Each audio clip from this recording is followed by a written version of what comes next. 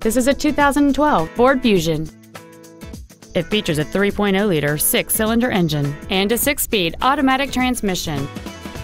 Features include air conditioning, cruise control, full power accessories, side impact airbags, traction control, a keyless entry system, and alloy wheels.